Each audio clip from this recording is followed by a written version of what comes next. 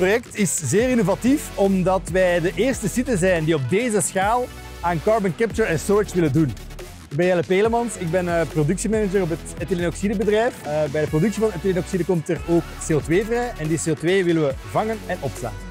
Wij zorgen eigenlijk voor een klimaattransitie en een van uh, de projecten die we daarvoor doen is het Carbon Capture and Storage project. De grote meerwaarde van het CCS-project is eigenlijk dat we in één stap de uitstoot van drie installaties kunnen doen verdwijnen. Dat wil zeggen dat die uh, CO2 gewoon niet uitgestoten wordt. Ik ben zeer trots op wat ik doe. Ja, ik word gewoon heel enthousiast uh, van hier te werken, van te voelen dat ik echt een bijdrage kan hebben aan ja, het hele project, aan het hele vergoeden van de chemische industrie. Ontdek alle transitieboosters op essentia.be.